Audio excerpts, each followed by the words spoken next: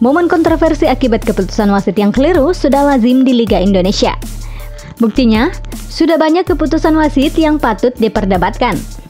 Hai YouTube, selamat datang di channel Kulu Kulu. Wasit di Indonesia seperti tak pernah belajar dari kesalahannya. Pengambilan keputusan yang keliru selalu saja terulang setiap pertandingan. Berikut kami ulas deretan keputusan wasit yang keliru di pekan ke-20 Liga 1 musim ini. Simak ulasan kami berikut ini ya.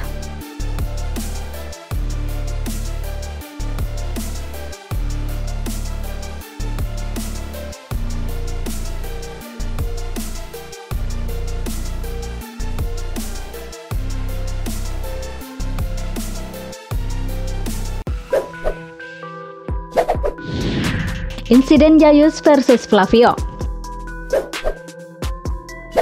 Jayus Haryono dan Flavio Beck Junior terlibat insiden di laga PSIS Semarang versus Arema FC. Keduanya bahkan sempat tersulut emosi hingga membuat suasana tegang.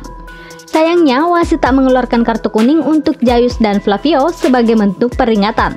Padahal keributan keduanya berlangsung tepat di depan wasit. Tapi kali ini Flavio sama Jayus ya. Nggak tahu nih apa ada yang kena kartu. Nggak ada kayaknya. Penalti untuk Persita. Persita harusnya mendapat hadiah penalti saat melawan Bali United. Kasim Botan terlihat dilanggar oleh Abdul Estaluhu di kotak terlarang Serdadu Tridatu. Momen ini jelas pelanggaran dan penalti. Sebab Abdu dengan sengaja menahan laju Kasim Botan yang sudah lolos dari pengawalannya. Pelatih Widodo sempat meminta penalti kepada wasit. Namun wasit memilih play on dan malah tidak ada pelanggaran. Widodo sempat emosi dan melempar botol di pinggir lapangan. Ini dia. Ini dia kita lihat bagaimana Oh, ya, ini ada benturan juga ya. kaki ya. Iya, kaki betul. kasih botan dari Abdul ya. Iya, sebetulnya diambil juga sama Abdul ini. Iya. Iya, kita lihat jelas nih ya, diambil oleh Abdul, tangan Abdul juga tadi menarik. Insiden Yusuf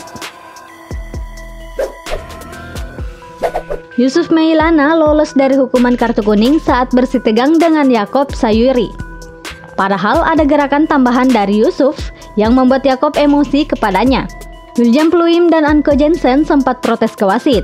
Kenapa Yusuf tidak diganjar kartu kuning? Padahal jika dihukum kartu kuning lagi, maka ia akan mendapat kartu merah tidak langsung. bagi para pemain PSM karena merasa yang mestinya diberikan kartu adalah Yusuf, iya, tapi justru Risna yang diberikan kartu oleh wasit. Iya, Risna ya, iya, tampaknya Risna yang diberikan kartu oleh wasit. Offside Da Silva. Pilihan keliru saat memutus David Da Silva offside di laga Borneo FC versus Persib Bandung. Malahan ini menjadi keputusan wasit dan hakim garis paling konyol di pekan ini. Situasi ini sejatinya tidak offside. Sebab Da Silva masih berdiri di area Persib dan tidak melewati garis setengah lapangan saat Bruno Cantanhede melepaskan umpan. Ini tidak bisa dihitung offside meski Da Silva berdiri di belakang pemain Borneo FC. Pelanggaran Rifat Sangat disayangkan Rifat Marasabesi lolos dari hukuman kartu kuning dari wasit. Padahal tindakan Rifat ke Ardi Idrus sangat membahayakan dan memancing emosi lawan. Rifat dengan sengaja menendang dan mengenai perut Ardi. Ardi naik pitam dan emosi. Namun Rifat malah membalasnya dengan sikap tak terpuji dan tak meminta maaf. Oh, oh, oh, ada tendangan ya dari Rifat ya. Ada tendangan dari Rifat pemirsa. Ini dia gimana Rifat melakukan tendangan terhadap Ardi Idrus. Tidak sepatutnya ya, sebagai pemain muda Rifat melakukan itu ya. Seluruh data dan ulasan yang kami sajikan berasal dari berbagai sumber artikel dan media nasional. Kami ucapkan terima kasih kepada video.com, Indosiar, dan beberapa media lainnya. Itulah tadi deretan keputusan wasit yang dinilai keliru di pekan ke-20 Liga 1. Kalau menurut kamu, keputusan mana yang paling blunder?